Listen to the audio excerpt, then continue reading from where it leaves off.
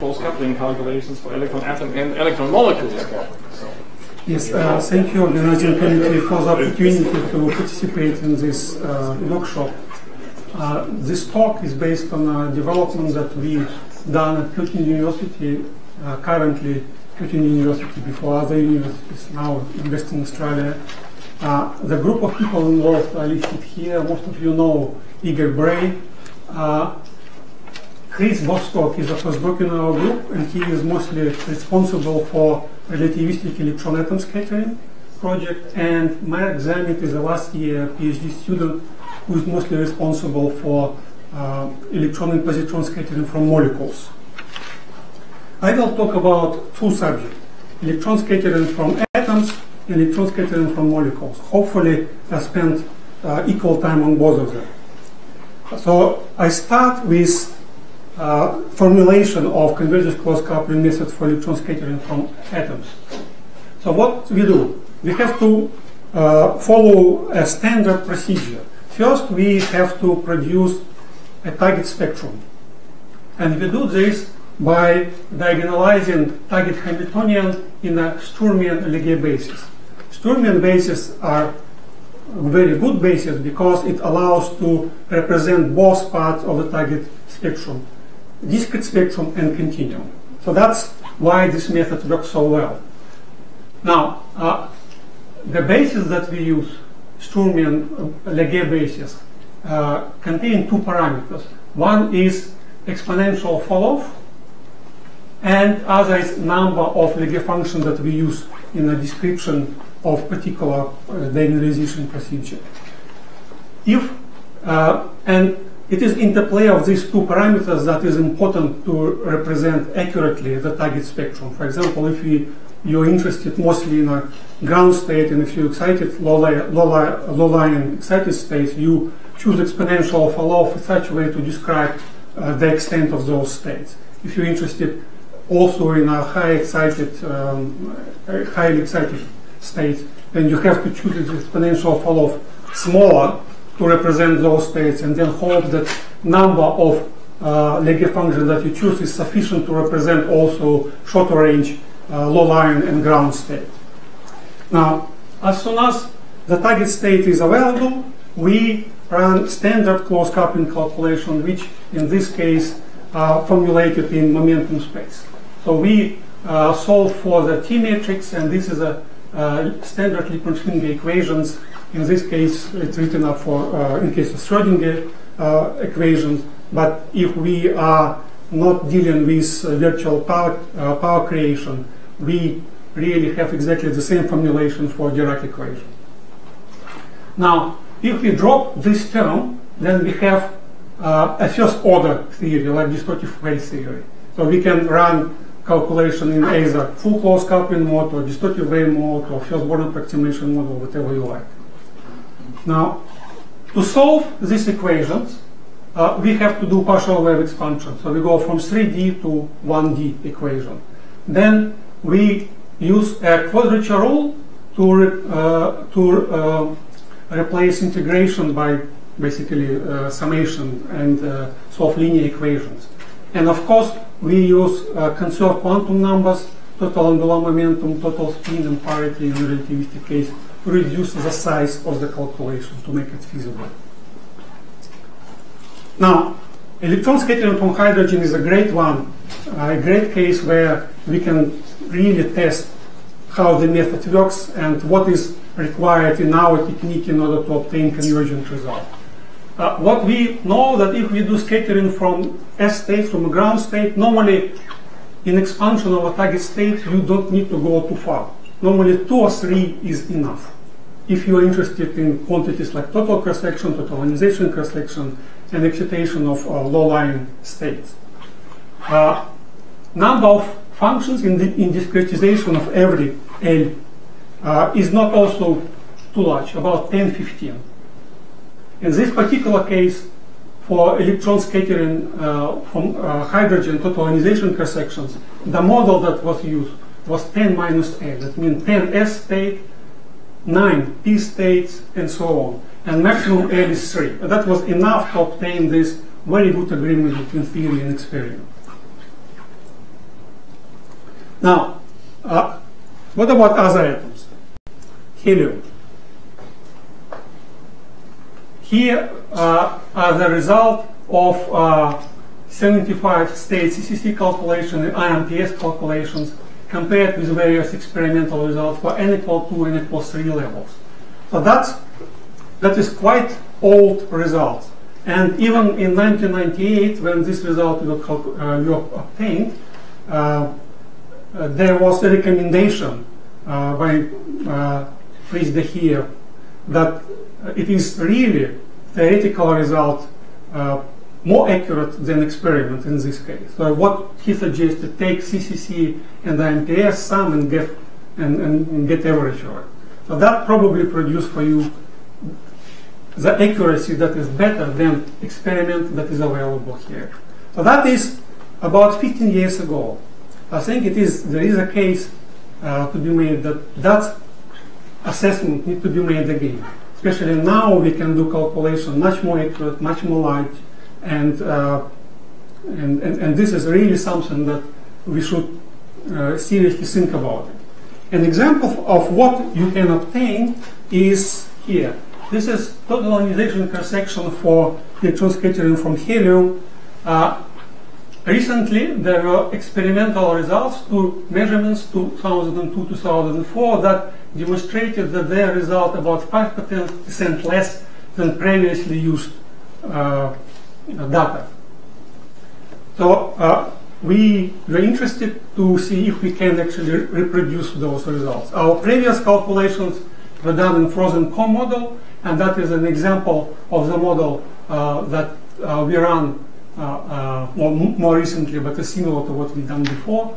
So the model used 15 Laguerre function, 15 minus L model, L max 3 to meaning only up to F states, and that is enough to obtain convergence. Only frozen core configuration 1s and N. There is an error in uh, ionization potential naturally compared to exact one. And when you run this calculation, you obtain this green line which goes through the previous experiment. Now, if you start to improve your structure model, and the Bose scattering model, uh, how you can do it. You still use 15 minus L model, go up to L max equals 3, but what you do is that you replace 1s, 2s, and 2p orbitals not with uh, short, not, not, not with uh, wide range orbitals, but with uh, orbitals that have what Laguerre function that have large exponential follow, 4 in this case. But if you do this and allow this type of configurations to be included in the description of the target spectrum, you obtain much better ionization potential. And of course, much larger number of target states. And you obtain results that goes very close to new experimental values. So here we improve accuracy of our both target state, but also scattering description because more channels, more various reaction channel is allowed. And we go very nice through experiment. And recent B-spline R-matrix calculations by Oleg and Klaus agree with us, with our result very nicely. So uh, the difference between frozen core model and multi-core model is about 4.5%. So what is the accuracy of the calculations that we have now? I think it is probably less than 3%. Probably better at higher energies, above 100 eV, and maybe a bit less at uh, lower energies. Now, let's look at some other transitions. So we look at, uh, at uh, total ionization intersection. Let's look at other more uh, very important transitions in electron scattering from helium. Uh, this is uh, the case for low energy excitation of two singlet S and two triplet S states. There were a number of calculations that were performed in uh, Belfast starting from 5 state to 27 state calculation, then a new era when uh, RMPS type calculation will develop, uh, Klaus Bartschat around 46 state MFX calculation, and more recently, uh, Oleg and Klaus run 69 state MFX calculations. So these results are presented here. Well, the question is, how accurate are these results? Can we get some estimate on accuracy? That is important. That is the most uh, important, probably, transitions in electron scattering from helium, widely used for normalization of the data. So what we would like to do is to run systematic convergence studies in this case. So we start with frozen core model. So we use 15 Laguerre functions, model 15 minus L. We use exponential fall-off about 2, and for one s orbital we use exponential fall-off 4 that, that, that give us exactly one s orbital of helium plus. And this type of configurations are described uh, within frozen core model. You can see that there is a significant drop from uh, this planimetrics result to our frozen core results. So these frozen core results are converged in sense that uh, well, all our issues being resolved, it's accurate in that respect. Number of states that are used to, discret to discretize 15 minus L is enough. We proved to ourselves that it is converged results in that respect. L max equals 3 only up to F state. we demonstrated to ourselves it is enough too.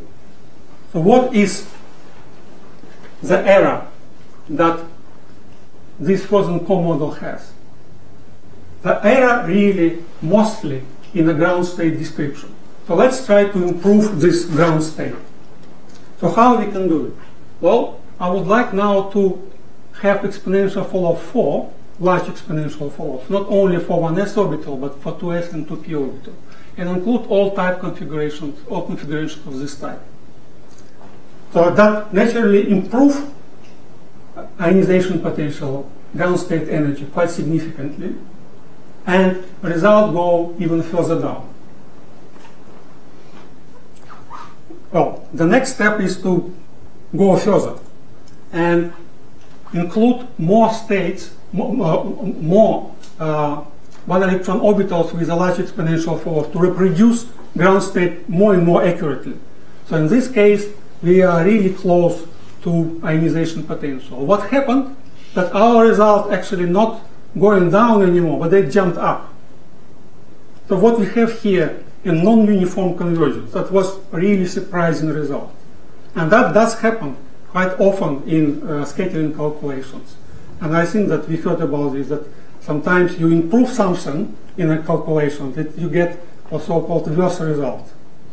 But in this case, we, we, we thought that we will be going down, further down, but it really did not happen. Result jumped up. So what else do we do? What, what else we can do? We can improve this even further. Improve this by running now uh, all configuration up to n less than equal 4 with uh, these short range functions. And that improve ground state energy further and you can see that uh, this red line is now really close to the previous green line. So we really obtain converged result well, to some accuracy, probably about uh, 3 or 5%. Now reduction from this plane matrix result to our result is about 10% here. And here in the maximum about 15%. So that's quite a lot for the most basic cross section. Now I think that uncertainty in CCC result is about 3%. And that is really difficult to, to estimate. Why, why 3%? Well, I can look on the difference between red curve and the uh, green curve and say that, well, maybe if I improve the structure of my model and include more reaction channels, the difference will be even smaller than between them. That comes from this a bit of a hand waving argument. Uh, this is uh, result for all n equal 2 states.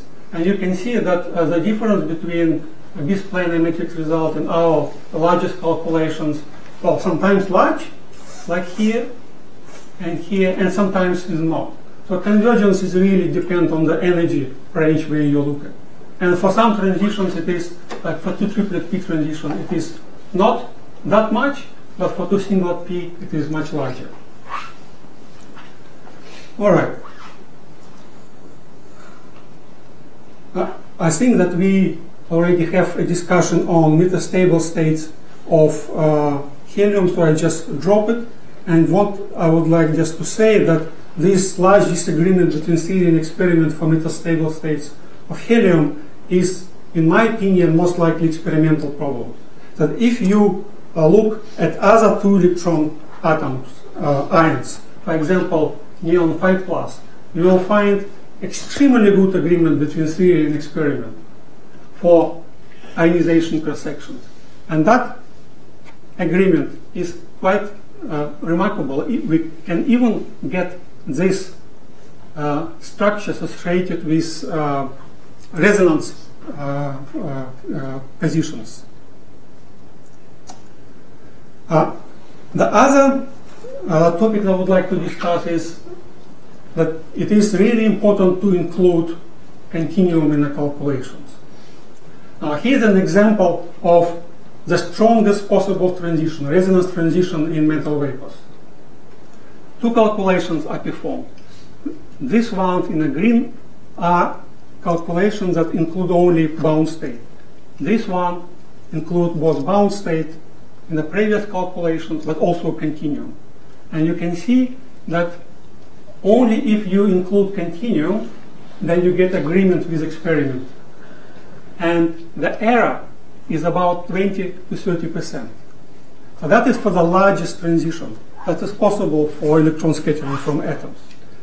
So if you do, if you look at uh, transitions that are not that strong, you can have quite a remarkable disagreement uh, in the case when you include uh, interchannel coupling and you don't include interchannel coupling. And this is the case of uh, integrated cross-section for scattering on the ground state of barium uh, uh, to 65D level. So this scattering process can go as one-step process due, uh, due to exchange scattering or as direct scattering using two-step process. And you can see that close coupling results are much, much larger than first order results. And I think that we saw similar uh, outcome for total ionization perception that uh, Connor showed for uh, uh, a few, few lectures before. Uh, now I would like to just say, uh, show a few slides that discuss the importance of uh, accurate structure model in uh, scattering calculations. So this is resonance transition in mercury, the largest transition, and uh, mercury is very, it, it multi-electron atom. It's very tempting to model this atom as two electrons above the frozen core.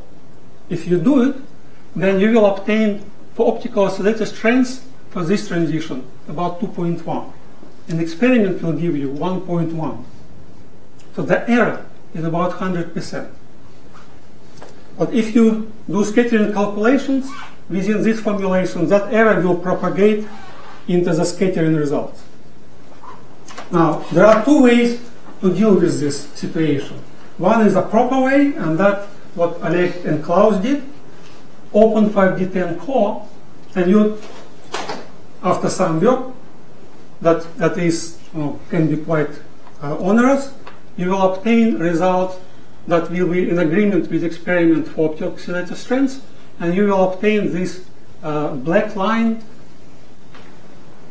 uh, on uh, this figure for integrated cross sections.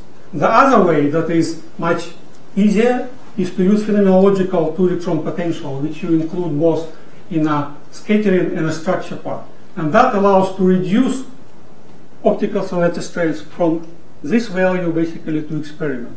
And when you do this, you obtain result as in relativistic CCC or non-relativistic CCC that goes basically very close to uh, this planar matrix results.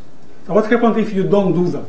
If you do not include two electron potential and run calculation with your own wave functions, like that follow from uh, optical oscillator strength 2.1, you will obtain this curve. That is a CCC calculation that are not corrected without two electron polarization potential. That is an error of about 100%. Now, what happened if you remove channel coupling in this case? Well, this red line is our first, order, uh, first approximation results. But if you compare this curve, close coupling results with the wrong wave function, and this, you have an error about 100% just due to channel coupling in this case. And if you do calculations not in first, border, uh, first Born approximation, but relativistic distortive wave approximation or distortive wave approximation that other group did, at different wave functions of the target and uh, the way unitarization is applied, you obtain a bit different results. But both structure is important and uh, correct structure is important and channel coupling is important for this transition. Now, you really have to work hard to get correct values for this integrated cross section. You can basically guess it. And that is what uh, the method uh, uh due to Yong-Ki Kim uh, does. You can basically get Born result with wrong wave functions and apply scaling. Scaling due to correct oscillator strengths to correct absolute value of cross section and this part of this scaling procedure will uh, move the maximum cross section from a low energy to the correct values.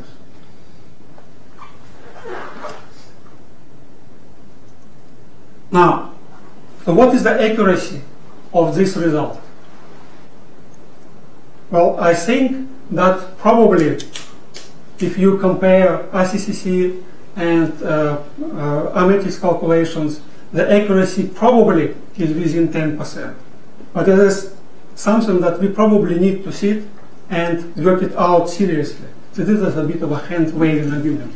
Shall we adopt de Heer approach and get just a half of uh, the average of two best calculations? Well, I'm not sure about that. Maybe these planar matrix calculations are more accurate in this case, particularly at low energies, because it takes into account adequately coexcitations. Uh, I have just a few moments to uh, say something about relativistic effects. Uh, I will uh, just run through these uh, slides very fast.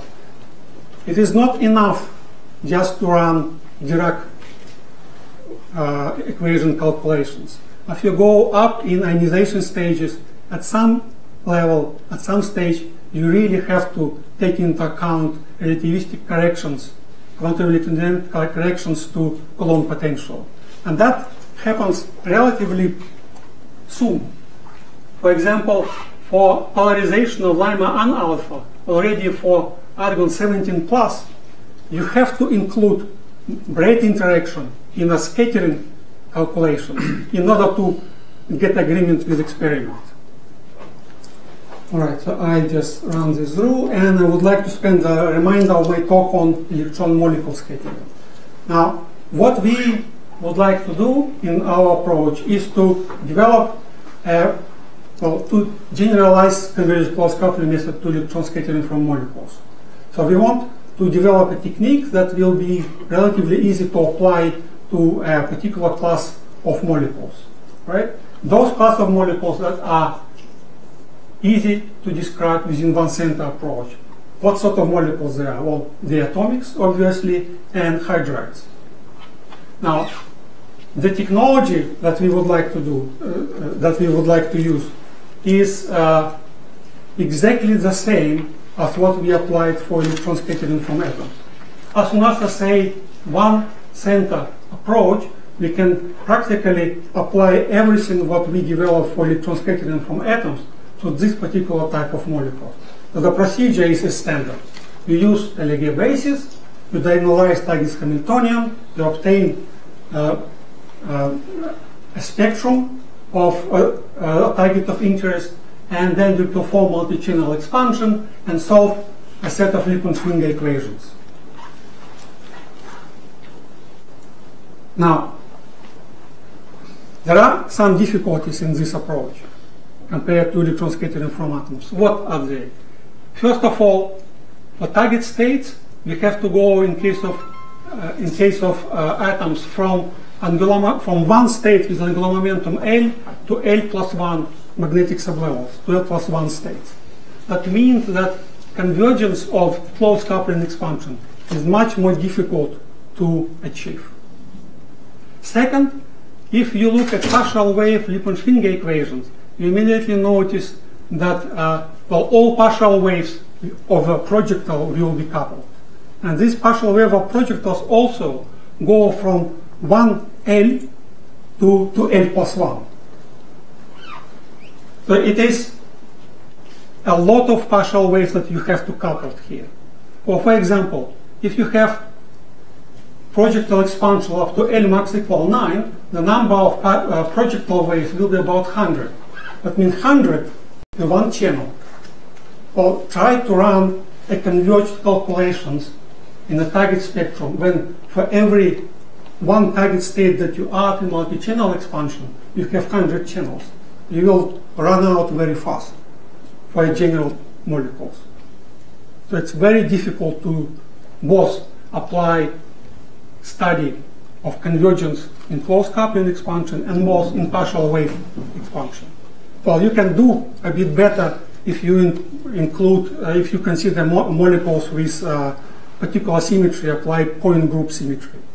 Uh, you can do much better if you work with diatomics, where you uh, have uh, uh, conserved quantum numbers that allow to reduce size of the calculations. Now, in the remainder of my talk, I will show some results for electron scattering from H2 plus. So H2 plus is the simplest molecule and is proved to be possible to push it through instead of convergence study up to convergence. So that allow us to determine what to investigate, what sort of uh, accuracy we have in our calculation if we limit partial wave expansion or if we limit target states expansion. Uh, first of all, it is important to get correct target structure for H2 plus molecules. And here an example of what we obtain and uh, how it compares with uh, uh, experiment. And you can see that we do obtain very accurate ground state and excited state, uh, sufficiently accurate uh, uh, target state of this molecule. For molecules, one center approach is good to describe excited states, which are hydrogenic anyway. The problem li lies with one center approach in description of ground state, low-lying excited states. And we, within our technique, uh, are capable to describe this. And we get correct energy levels, correct oscillator strengths, and correct static dipole polarizability. Uh, so in our calculations, we run expansion up to L max equal 9 in projectile.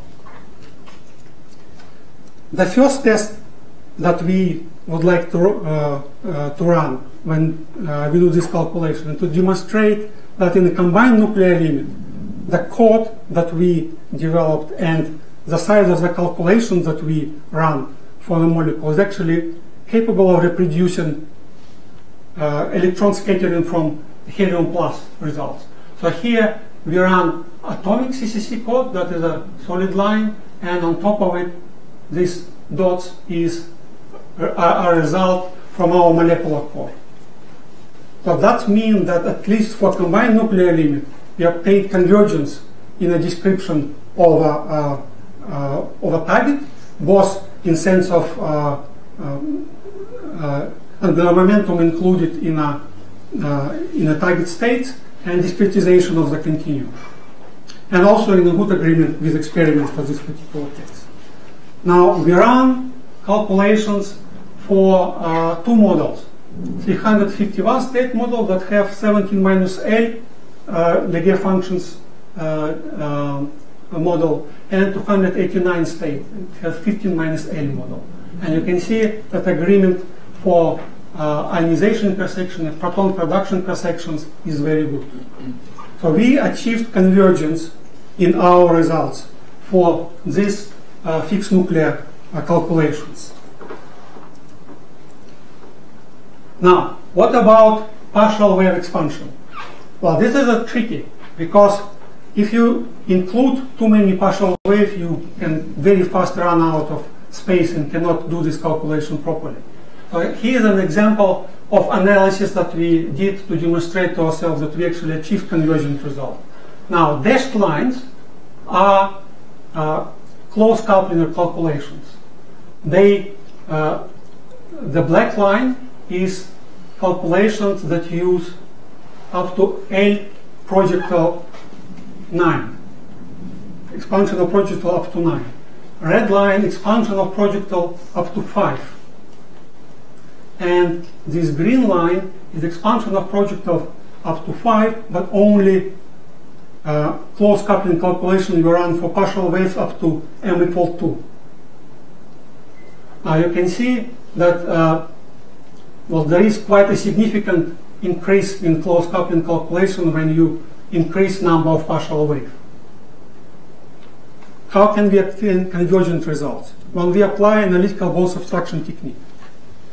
Right? So we uh, use plane wave analytical Born subtraction technique, in this case for charge target, and hope that if we uh, have uh, continuum waves with sufficiently large angular momentum, plane wave or Coulomb wave will behave similarly. And we can test it, as we will demonstrate. So now this black line with the analytical Born subtraction technique became black line solid. Red line goes to this red line, and green line goes to this one. So you can see that analytical Born subtraction technique allow us to speed up convergence quite substantially. But there is naturally an error associated with uh, uh, uh, uh going uh, to smaller values of L in the description of a project. Now, how important is it to have plane wave versus Coulomb wave top up? Well, this figure demonstrates that uh, we are capable to uh, obtain convergent result in sense of uh, this top up. Now, what this blue line is, is a distortive wave calculations that are run to L of a projectile equals 16. But basically, we can run distortive wave calculations as large as we like and obtain convergent result. So we are convinced ourselves that we took convergence partial wave expansions uh, properly. Now, what is important here is the channel coupling, the difference between what you obtain in distortive wave and in close coupling calculation is quite large. It's about 45% intersection maximum.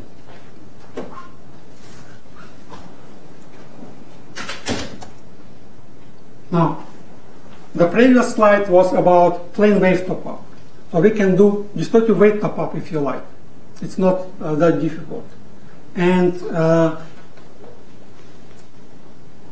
you can see that if you do distortive wave top-up, and you can look at what happened if you run calculations uh, in such way that you do not include too many partial wave of a projectile. You can see that the difference between the largest calculation that include up to L equal 9 of a projectile and the smallest calculation that use only up to two partial waves is about 15%. So you have to be aware that uh, cross sections can be quite sensitive to the partial wave outcome. All right. So that is uh, so that result will for fixed nuclear approximation. But if you want to compare with experiment, it's not really what we need. In experiment, H2 plus molecule is obtained in variety of vibrational levels. And this variety of vibration level is quite large. But this is in principle described by uh, Franck Condon factors or can be measured in experiment. In order to model this, we use uh, uh, adiabatic nuclear approximation that relies on the following ansatz. That you need to basically average thematics that you obtain at various internuclear distances with the vibration functions that uh, you obtain for, uh, for, for a molecule of interest. In case of ionization, you have to uh, uh follow basically this prescription.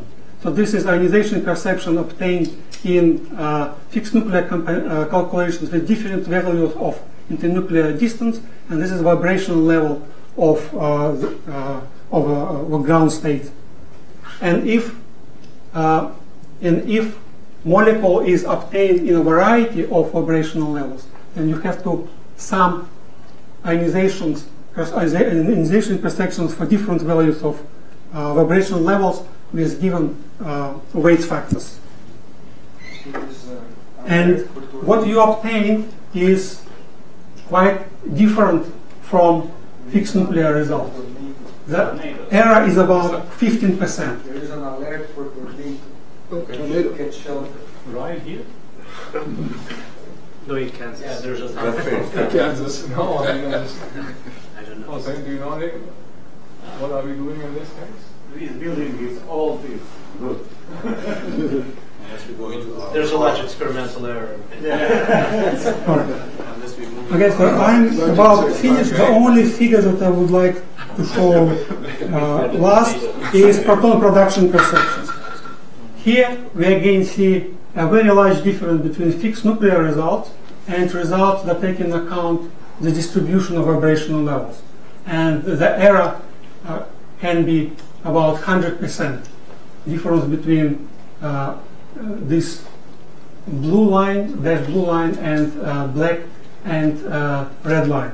Black and red lines are proton production cross-sections for different distributions of vibrational levels. Franck-Condon factors or that are measured in experiment. So, uh, and I think that I better finish on this. And in conclusion, just to say that in order to obtain accurate results in electron scattering from atoms and molecules, you have to really rely on the accurate structure model. If you don't get accurate structure model inside, then you will obtain uh, something that is not really uh, relevant to uh, what, what you are calculating. For molecules, it is very difficult to run calculations to convergence in sense of target states expansion and partial wave expansion. There are errors associated with that. And that errors need to be taken into account somehow. For diatomics, in my opinion, we can push through this